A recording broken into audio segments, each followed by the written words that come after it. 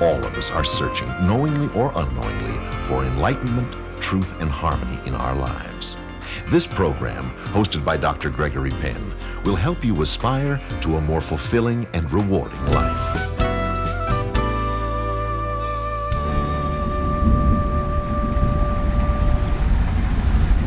Well, hello and welcome back to Aspire Unplugged. This is the last episode. Can you believe it? After 30 years. I know. This is it all comes down to this this program. I know. And think about all the lives you've touched along the way, the people that you've had influence with and tried to help. Uh, Tried. Do you think you're going to retire after this? No, I'm going to go on doing my work and helping my students. I'm going to move. I, I'm the type of guy who'll probably die with his boots on. Mm-hmm. You know, I I. What else would I do? Mm-hmm. You know, nobody'd have me. Yeah, you don't want to go play shuffleboard someplace at a nice retirement home and No, and I don't want to Screw go those tra- people up. I don't want to go traveling and see. You know, I don't have a bucket list. Okay. No, All right. that You would are- be. You are the bucket. I I'm the bucket and I'm the list.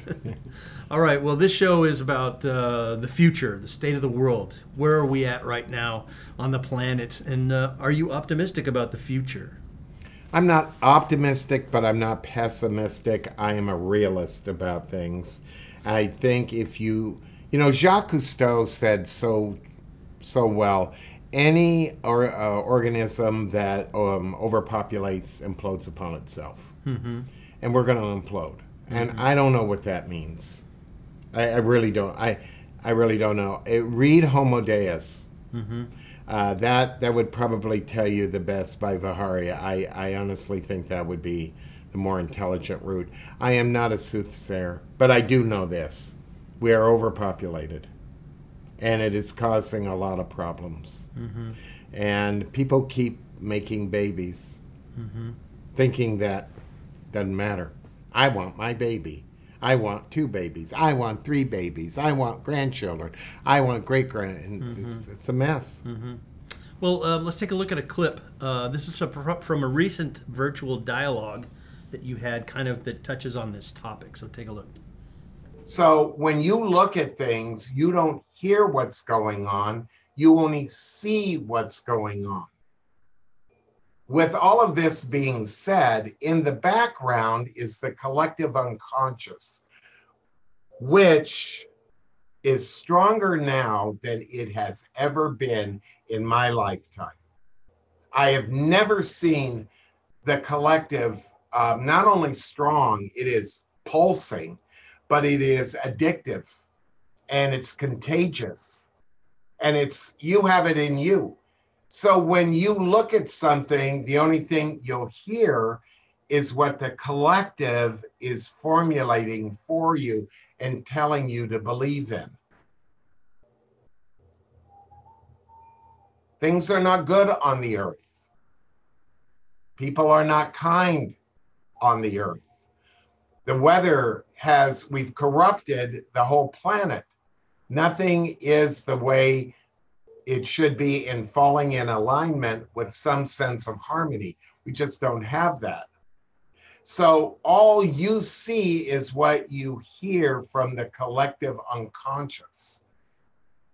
If you were meditative if you had developed a sense of the solitary in you you would understand the collective but you wouldn't respond to it. You wouldn't you wouldn't suck its tit and think you were getting nourished.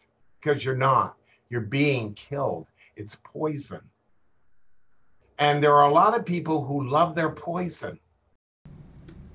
Hmm. What would we do without poison? Hmm. Really think about it. Movies have to have two things sex and violence. That's all the way we do it. Poison, drugs, alcohol, the disintegration of a person's life. We, we're always very in, interested in that. Yeah. You know, Well, it's You- the world we got. How do we live in it? carefully, mindfully, heartfelt, consciously. Mm-hmm. That don't get caught up in the uh, the milieu of it all. Mm-hmm. If if you do, you're you're sunk. And the problem is that people have made commitments um, by having children and large families, and that puts them in the position of the collective and the pedestrian mentality, and uh, the, the commitment to their children, which I understand, becomes the totality of their life.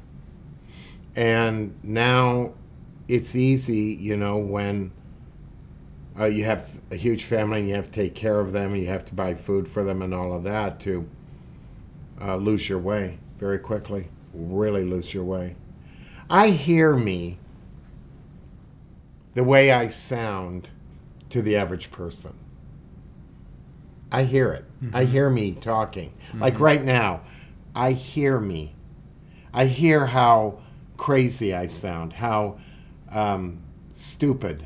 You know, I, I'm not going to give up having kids. I'm not, I'm not going to, you know, I, I understand how I sound. I do. And um, I can't help that. That's why we are the way we are and where we are in this world because people don't, they don't listen. Mm-hmm. So I understand I, I, I'm a small voice in the wilderness crying. I, I do. But you also agree that you, to, to find your spirituality or find your uh, enlightenment or what have you, you don't have to give up your family. You can still live in that space oh, and yeah. still love them and be an, if loving... you can make your your house an ashram. Mm-hmm. If you can do that, I always tell my students, make your house an ashram. Huh. And yeah, you, you absolutely can. But the trouble is, see, people don't understand what it means to have babies. When you have babies, you're bringing in entities you know nothing about. They're there. You don't know if you brought in a Charles Manson or a Mahatma Gandhi. You don't know. More, more in between, but you got to understand the worst, most terrible person in the world had a mother and a father, and they didn't know. So parents don't know how to raise their children. These iPhones and devices raise children. Mm-hmm. And society rains, raises them, not the parents. They have nothing to say. Parents basically get married, have babies, and then give it to the school, and you raise my kid. Yeah. I know this because I've got students that work in private schools, mm-hmm. and that's exactly what they do. They got tons of money, and they just drop the kid off. Mm-hmm. Mm-hmm. Or the nannies. Do you know how? Yeah, yeah, Or, or nanny. Do you know how old these kids are? Three years old, yeah. four years old. That's crazy. And they got all the money in the world. They don't have to work. Mm-hmm. But yeah. Yeah, uh, it's another Bentley in the garage. Yes, to brag on. Yes, it is. It's another thing to check off my mm-hmm. list too. Mm-hmm. Well, um, we talked about this being the Vedic or Hindu Kali Yuga stage Kali Yuga, yeah. of humanity. Yeah, we and the, are. Uh, the the Atlantic re- magazine recently uh, wrote an article that kind of touched on this, and here's an interesting thing. Um, they likened the current state of the world with the biblical Tower of Babel, where we wander amid the ruins, disoriented, unable to speak the same language or recognize the same truth. I totally agree with that. We're in a we're in a terrible place. And people don't realize that we're always on the verge of war. We have nuclear weapons in the hands of insane people. There's more mental illness in our country, and I would imagine the world, than we can imagine. Uh, kids going in and shooting kids in school. Mm-hmm. What is that? In my era, my day, that would never be even thought of. Mm-hmm. It all started when they killed JFK in front of us. That's when the whole thing started. And I knew when that happened, I was 12, and I knew, I knew, I said to my mother, this is the beginning of a lot of things. Hmm. Well, you spoke to uh, population growth. I mean, it, look at this graph here. This is the size of the world population over the last 1,200 years. Very, very flat up until the year 1700 when there was 600 million people. And now today, we're about 8 billion people that is a lot of growth in just, what, 300 years? Well, it shows that we have a devotion to sex. Yeah. You know? Yeah, boy, we're like uh, bunnies. Yeah, I mean that's all town. we think about. Two things. I said it earlier. Yeah. Sex and money, in that order. Mm-hmm.